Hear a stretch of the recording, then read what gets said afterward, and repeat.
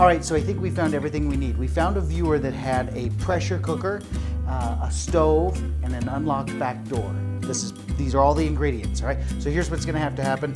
Uh, we put a little bit of water in the bottom of the pressure cooker, so we do that. And now I'm gonna take this little Corningware and put it here, and now our styrofoam cup goes here. Put the lid on top. And now the uh, little thing here, and now we just set it over here, and we wait for about 10 minutes or so.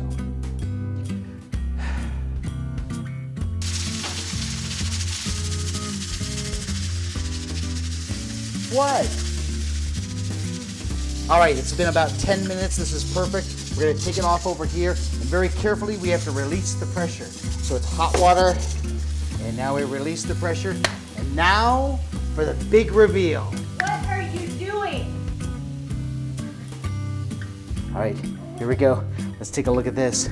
Take a look at our original styrofoam cup. That's perfect. Finally, an espresso cup that works.